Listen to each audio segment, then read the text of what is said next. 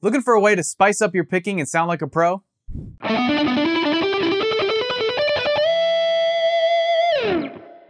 But after learning this lick, you're gonna sound and look like a pro in under 10 minutes. Let's go. So the basis of this lick is the E minor pentatonic scale. Something you're likely already familiar with, but we're just taking a chunk of that and we're applying this picking technique called double picking, where you're essentially playing the same note twice in a row. And it creates this kind of cool slapbacky stuttery effect that just is a great way to build up to an epic lick. And it's something that a lot of the great guitar players use. So we start with the 12th fret on the A string, and we're gonna play the 12th fret, then the 14th fret, then we're gonna play 12 on uh, the D string, and we're gonna play that twice. So we're gonna double pick that. By the way, every note that you pick in this lick should be alternate picked, right? So when we start, we're gonna do a downstroke, then up, and then down, up, right? Mm-hmm. So we have 12, 14, 12 on D twice. Then we're gonna come back to the 14th fret on the A string, and then we're gonna play 12 on the D string, and then we're gonna play 14 on the D string and double pick that. So we have, then we're gonna play 12 to 14 on D, then we're gonna play the 12th fret on the G string twice, double pick it. So we have, kind of see how the notes are like kind of cascading as they build up. And then from here, we're gonna play the 14th fret on the D string, then 12 on G, then 14 on G twice, double pick it. Then we're gonna play 12 to 14 on G, and then 12 on the B string and double pick it. So we have. So showing it to you in chunks like that is to really help you see that kind of this is a repeating sort of pattern that's just moving across notes in the minor pentatonic scale. All right, so once we've reached uh, 12th fret on the B string, we're gonna play the 14th fret on the G string, then 12 on B, and then we're gonna double pick the 15th fret on the B string. So we have.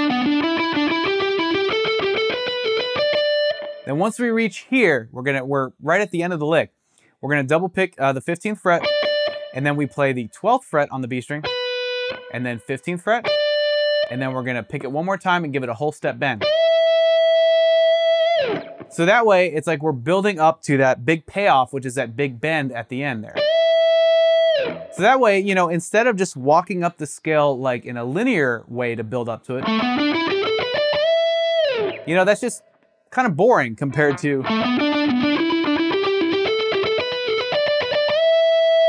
So that's the whole point. A subtle change like that double picking uh, technique can really add a lot of flavor when you're trying to build up to a big bend like that.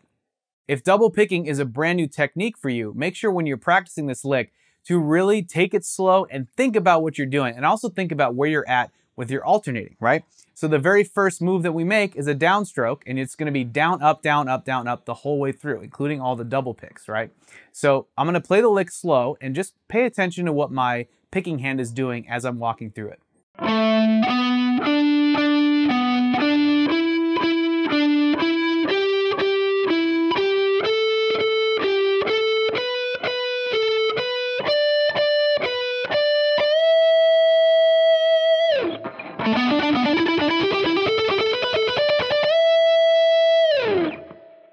You're already familiar with playing the pentatonic scale in different keys and different positions on the fretboard, you can actually take this lick and adapt it to whatever key you want. It's literally just taking notes in the pentatonic scale and applying the picking technique, right? So if you know the notes to the minor pentatonic scale, you automatically know the framework to play this lick. You just have to adapt it with your picking hand, right? Because we're not moving up just like one note at a time in a linear fashion like I showed you. We're kind of building up and the double picking just kind of creates this like very anticipatory sort of lead in to when we get that big payoff at the end. Like I said, that big bend at the end. That's what I like to call bends like that bends at the end. Or maybe end bends sounds better, or bend ends. I don't know. What do you think? But anyway, you now know a badass new lick that uses a pro level picking technique to spice up your pentatonic solos, especially if they lead up to an epic end bend, right? But we just covered the key of E minor today. Imagine being able to play it in every key. That's why I'm giving you a free guitar cheat sheet. This is going to show you how to instantly identify and solo in every key on your guitar's fretboard. So be sure to click here to claim your copy or check the link in the description box. And if you enjoyed this lesson, be sure to hit that like button and consider subscribing to our YouTube channel. And be sure to check out our other relevant lessons right over here. I want to thank you for hanging out with me today. I hope you've enjoyed this lesson as much as I've enjoyed bringing it to you. I'm Eddie with Guitar Mastery Method, and I look forward to seeing you in the next lesson.